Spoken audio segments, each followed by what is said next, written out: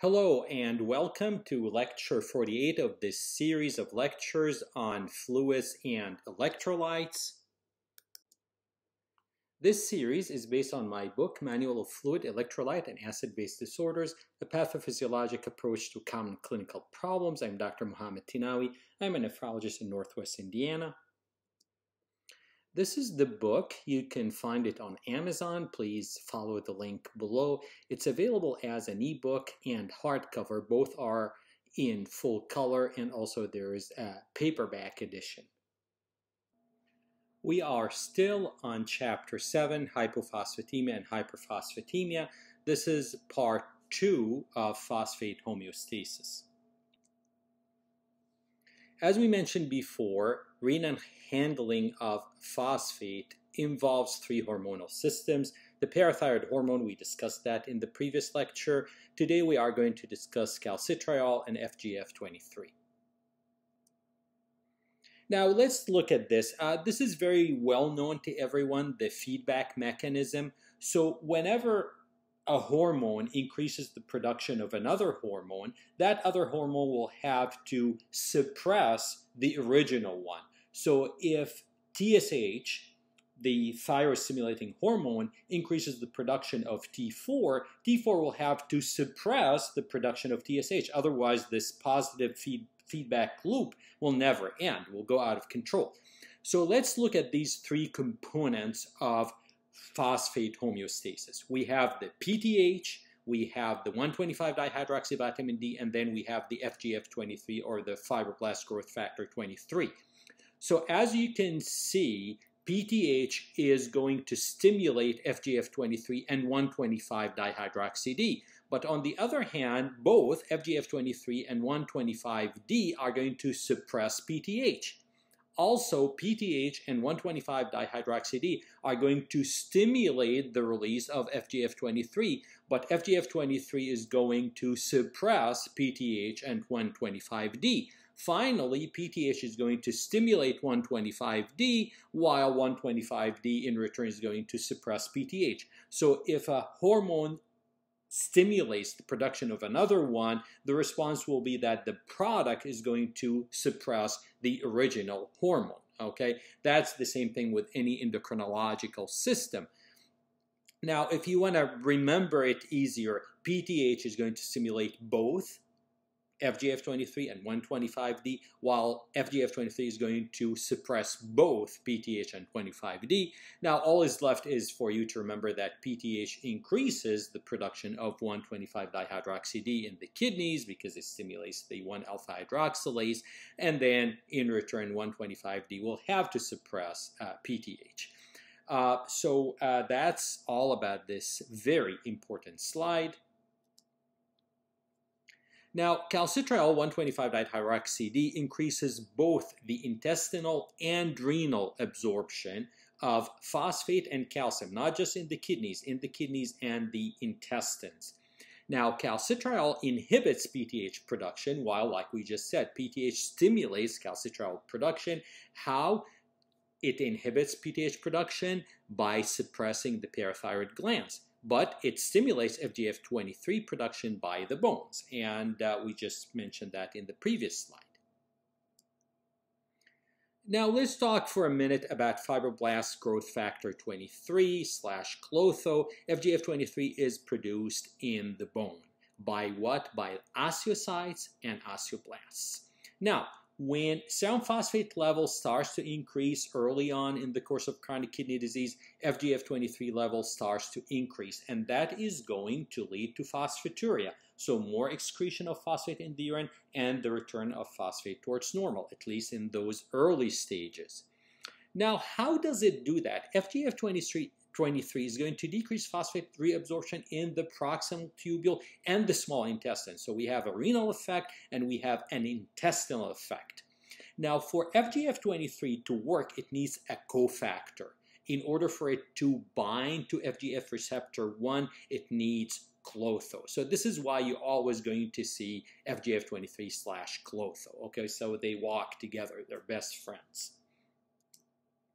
Now, if you're going to remember one thing from this lecture, and maybe the next lecture, it should be this slide. This summarizes really everything. Now, this is what happens with these hormonal systems when the GFR declines. As you can see in the red, marked as number one, as the GFR starts to decline, the glomerular filtration rate starts to go down. We're still early, stage two chronic kidney disease.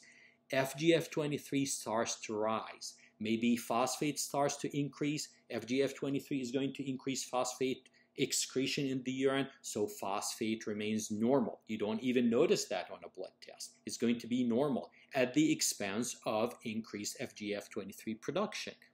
Now, this is followed by number two. Number two is what? We are going to see a decline in 125 dihydroxyvitamin D production because it is made in the kidneys. And if you have chronic kidney disease, then 125 dihydroxy D level is going to decline. Now, when it declines, you are going also to have a decrease in the renal and intestinal absorption of phosphate. So it serves our purpose of decreasing phosphate. Now, number three, phosphate is still up. Now we are going to have an increase in parathyroid hormone level. The mechanism, I discussed that in detail in the previous lecture. Now, finally, phosphate starts to rise as you reach stage 4 chronic kidney disease. So all these mechanisms, the increase in PTH, which leads to excretion of phosphate in the urine, the increase in FGF23, which also will lead to increase in phosphate excretion in the urine and decreased absorption in the small intestine. The 125 dihydroxy D decrease, which will lead to a decrease in the absorption of phosphate in the intestine and also the kidneys. All that will not be enough anymore, and phosphate starts to rise. So these mechanisms starts to be activated in stage two or three, but you don't start to see hyperphosphatemia until you get to stage four or five. This is a very important slide. Okay, take a mental picture of it. Keep it with you.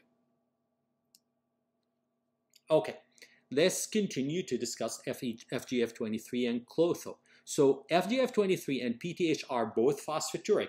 Uh, you, you can notice here that I'm repeating the same point again and again.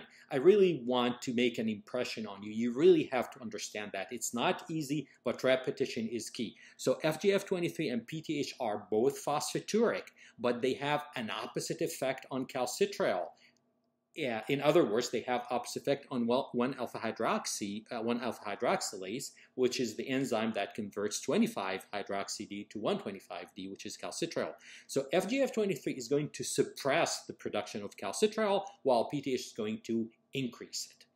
Now, like we said, FGF23 is going to suppress the synthesis of PTH in the in the parathyroid gland and also suppress the production of calcitriol. Like we said, FGF23 is a downer, is going to suppress both PTH and also calcitriol. Okay, it doesn't like anyone. FGF23 level increases early in the course of CKD, like I showed on the previous slide, maybe around stage 2. And this increase is associated with an increase in all-cause mortality, incident heart failure, and cardiovascular events. So these are association studies, but we are starting to gather more data. Okay, another summary slide. I'm again making the same points here.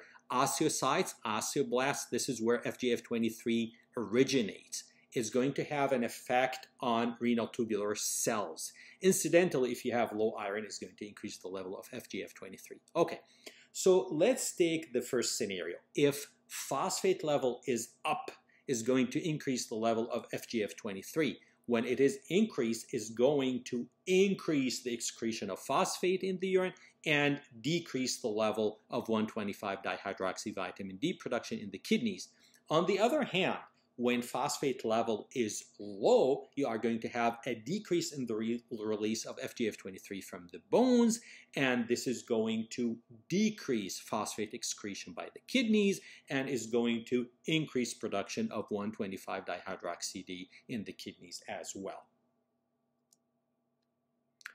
Now, what about the role of acid-base balance in phosphate? Okay, now, we said that phosphate, we have two kind of phosphate, okay? Monohydrate and dihydrate. And the ratio of monohydrate to dihydrate is 4 to 1. And this is a very important buffer system, okay? It mitigates acid-base disorder. So this is called also titratable acidity, and we are going to discuss that in detail in uh, future lectures when we talk about metabolic acidosis. Now, metabolic acidosis causes phosphaturia, and this leads to acid removal because these are buffer systems, while metabolic alkalosis stimulates phosphate reabsorption in the kidneys. So they have contrasting effects. Now, let's uh, compare the actions of PTH and FGF23, okay, as a final summary slide here. PTH is produced by the parathyroid glands, while FGF23 is produced by the bones, osteocytes, and osteoblasts. What's the main action of PTH? PTH regulates calcium and phosphorus, while FGF23 mainly regulates phosphorus. What's the main stimulus of PTH production? Low calcium. If you have low calcium, you are going to have high PTH. If you have high calcium, you are going to suppress PTH, unless you have primary hyperparathyroidism. Now, FGF23 is stimulated by hyperphosphatemia, like I mentioned several times now. Now, the renal effect of PTH is phosphaturia, and this is the same for FGF23. Both are phosphaturic. What about the effect on calcitriol synthesis? PTH is going to increase the renal production of calcitriol, while FGF23 is going to decrease calcitriol synthesis. Okay, now, I understand that I gave you a lot of information in this lecture. I strongly recommend that you uh, watch it again, maybe two, three times. Uh, this is very interesting, very exciting. Few people have a good grasp on these concepts. And then in the next lecture, we are going to uh, finalize our discussion of phosphate homeostasis. I'm going to review some aspects, and after that, we will uh, start our discussion of hypophosphatemia and then hyperphosphatemia. See you then.